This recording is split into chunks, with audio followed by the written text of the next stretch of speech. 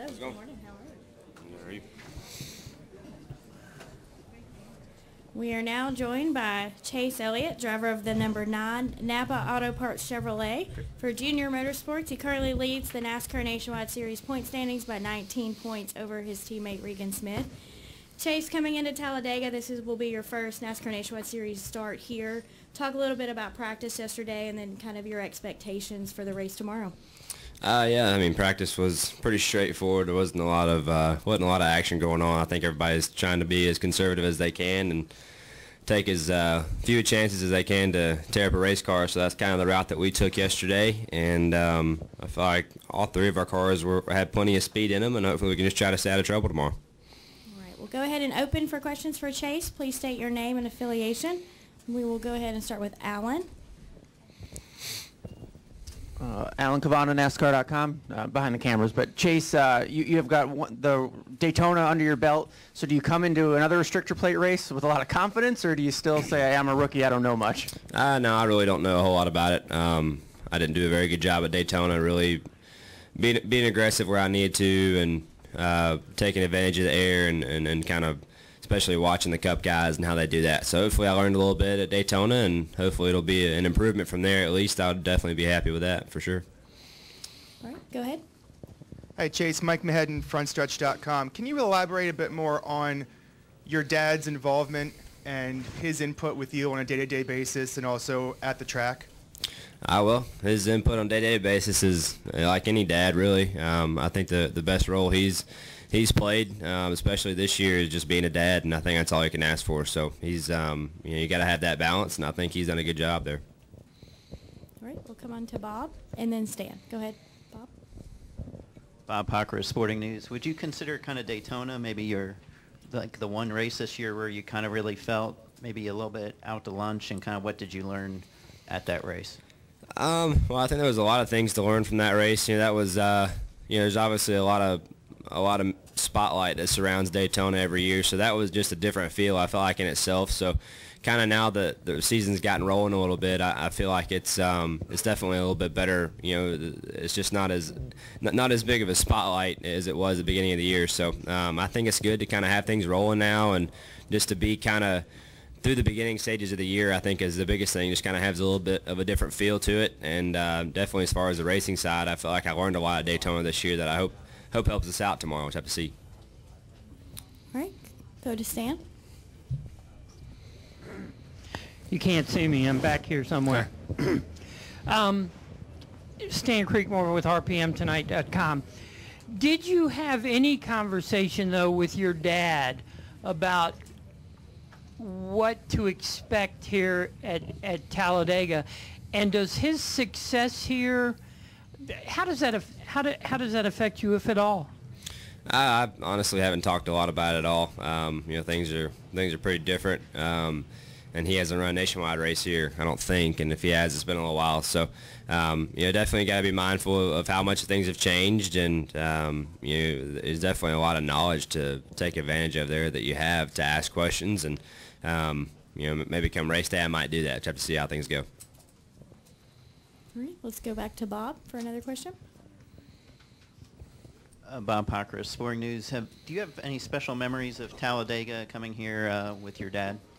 You know, honestly, I was pretty young uh, or not around whenever he did most of his racing here. But um, the uh, the you know past number of years when he was racing for the Wood Brothers, I do remember those trips over here. So that was. Uh, other than that, I don't really remember a lot about it, but um, I do remember some of those trips he made with them.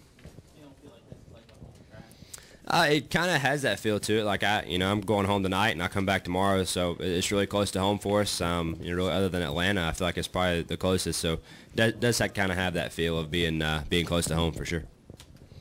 All right, go ahead. Solomon Crenshaw, Alabama Media Group. Does the name Elliott carry an extra weight for you? And I mean, obviously you've only had that name forever, but if I say being in this industry as your dad was so successful. Uh, no, it, it really doesn't. Um, you know, the best the best way you can go about it, and, and, I always always have and always will have a lot of respect for my dad and everything he's done. But I'm not him, and he's not me. And if I don't get the job done for myself, I'm not going to be around very long. So uh, that's the way I've always looked at it, and that's the way I'm going to continue to do so. All right, we'll go to Marty Smith and then to Jennifer. Go ahead. Marty Smith, ESPN. Congratulations on your success so far, bud. Thank you. What's it like going to school right now? How how's it changed? Like, what are your buddies saying to you right now? I mean, honestly, it's really not any different for me. You know, I've uh, especially the the guys that are close to me and I've always hung out with. They've I, they all know I've always raced. You know, ever since I've really been going to school where I do now. So they've always been aware of you know what I like to do on the weekends, and uh, they've really always been supportive of it. So um, it's really really not any different now than, than ever has been, and uh, hopefully have some come out watch this weekend. It's being close to home, so they try to come out to, to a couple whenever they can. So I think this might be one of them. All right, Jenna, do you have a question? Jennifer, AP, Marty kind of totally stole my question. But you, Gotcha. um, do, do your friends come to races or do people at school watch the races now because of you? Uh, I hope so. I mean, I hope that I hope that's the case. But definitely, the, like I said, my friends that are I'm, I'm close with and I've always hung out with, uh, they've they've tried to come to races over the past couple years, and um, they've made it to a couple so far this year, and they might come out this weekend. So um, definitely, the guys that I'm close with always have, and I've, I've always been supportive of it, and I'm hopefully. You know, I hope other people are interested in it now. I think that's um, that's good. You know, if that's the case, and hopefully they'll come out to some races sometime. How's your popularity and are you struggling for a prom date? well, prom prom's gone, so I, I missed out on that one. But uh, but no, like I said, you know, like Marty said, you know, it's really not, not any different for me. And you know, everybody that I've gone to school with knows that I've been racing for ever since I've been going there. So um, yeah, that side's really been pretty straightforward. Not really. I mean, just kind of have to keep going about your own business and keep uh, trying to do what you love to do. Okay, we'll go back to Mike. Mike Neff from FrontStretch.com. Chase, your popularity is growing in leaps and bounds, and I've been to Gresham to see you run a super late model and seen the autograph lines you had even then. But I'm curious, with it just getting so out of control of late, do you miss being able to just go to the, the local track and run? And are you going to be able to get to still do that once the season's over? Maybe run a snowball again? I, I, always have, always loved short track racing, and I would love to do as much of it as I possibly can. Um, you know, I've always said I'd, I'll go racing if I can logistically make it to a race and go run a late model somewhere. I'm, I'm down to go um, anytime. So I would love to race as much as I can. You know, this year the way things kind of panned out and being as busy and kind of being new at all this and, and whatnot, this year wasn't a good year to, to go try to, you know, run Friday night and then go run somewhere Saturday night. So um, I'd love to do that at some point. I think racing as much as possible is a good thing, especially, uh, you know, we have late model cars and stuff. I think it'd be good to go run. I don't foresee myself going back to the snowball this year. I uh, would love to go back at some point, um, maybe next year or the year after, but we'll have to see uh, how things go and got to make sure we have the right people before we go back. All right. Any final questions for Chase?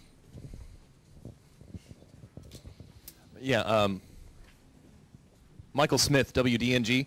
Um, 18 years old, you're leading nationwide in points right now. Can you talk a little bit about if you're feeling any pressure at this age, being a rookie, leading nationwide, is uh, and kind of some of the experience that you're getting from some of the other teams, some of the other drivers, being so young and still leading in points?